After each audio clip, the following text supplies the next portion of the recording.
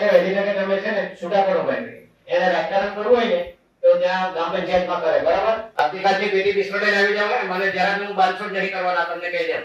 જાતિના કામ દાખલામાં એટલી બધી તકલીફ ઊભી કરે છે કે એના માટે હળવા નિયમો કરવા. તો ભાઈ તમારી સ્થિતિ?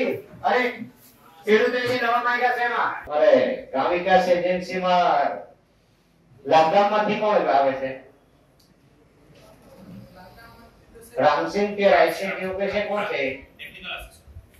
ભાઈ, એને વહેલી તકે તમે છે ને છૂટા કરો ભાઈ. એને રાજકારણ કરવું હોય ને, તો ત્યાં ગ્રામ પંચાયતમાં કરે, બરાબર? આ ફર્સ્ટ વાર તમે એને છૂટા કરીને જાહેરનામું આપો, બીજું જોઈએ તો તમે લઈ લો કોઈ મળતો હોય. એને રાજકારણ કરવું હોય તો ત્યાં ઘરે ગામમાં જઈને કરશે. એ ચાલુ સરકારમાં બેસીને રૂપિયા અમારા થાય ને અમારી જે જે ચૂંટણી લડવાના હોય, તો એને છૂટા કરો.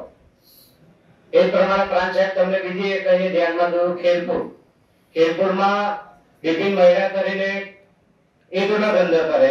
જમીન છે એની માટે પેટ્રોલ એને કરાવી છે અને ધંધો બીજો કરે, એને પણ બંધ કરાવી દેવા આવતીકાલથી બરાબર? એમાં કોઈ બાંધછોડ ચાલશે નહીં આ બે બાબતે ધ્યાનમાં લઈ લો જે વહીવટી અર્થે મકાનોની ફાઇલ આવે છે, એ ઝડપથી નિકાલ નથી થતો એટલે એને ફાઇલ આવે કે વધુમાં વધુ પાંચ દિવસની અંદર નિકાલ થવો જોઈએ. કોઈ પણ ખાતું હોય. કોઈ એકલા ટીડીઓ સાહેબ ના કે એની વાત નથી ધ્યાન દો માંથી મેડમ આવ્યા છે? તમારે મારે તમને ટકોર કરવા પડ્યા હતા. એક બાજુ એક્ઝામ ચાલે, બીજી બાજુ તમે રેગ્યુલર રહેતા નથી. અનેક ફરિયાદો આવે છે હવે કોઈ પણ કાર્ય હું ચલાવવાનો નથી. મેં તમારા ડીસી સાથે પણ આજે મને મળી ગયા છે. રેગ્યુલર રહેવાનું, તમે સુરત અપ એન્ડ ડાઉન કરો તો પછી અહીંયા અમારી જનતા શું કરે? તમારું મકાન નથી અહીંયા? છે કે નહીં?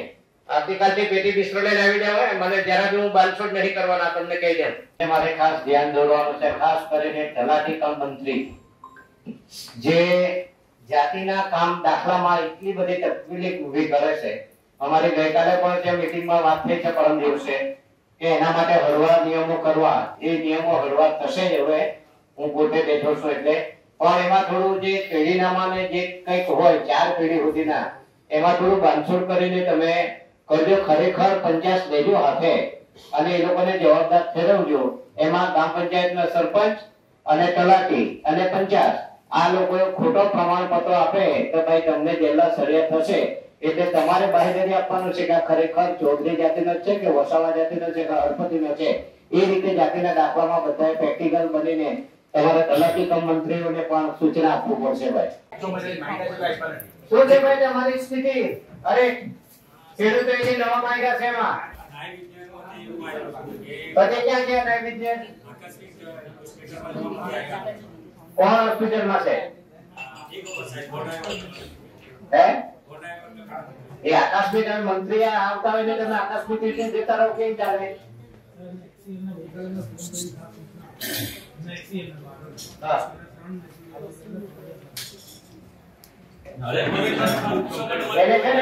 આ અધિકારી નથી આવ્યા એની અમે તમે એક્શન લેવા માટે મંત્રીશ્રીની સૂચના છે ત્યાં આપી દો. આજની એની રજા બજા કાપી નાખો બધું. બરાબર?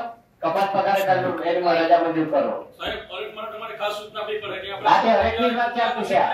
કોઈની રિસ્પેક્ટ નથી કરતા કચેરીમાં હરેક કચેરીમાં. અમારો પોતાનો અનુભવ છે. સાહેબ અમારે જે કોઈ કામ કરતા. થાય તમારે રસ લેવો પડે. એ લોકોને તરતથી સૂચના આપો કે ભાઈ સ્થાનિક કાર્યકર જતા કમસે કમ વિશ્વ વાત કરે